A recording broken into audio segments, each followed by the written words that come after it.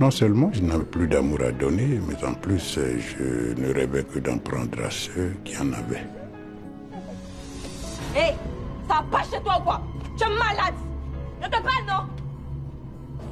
Tu es malade.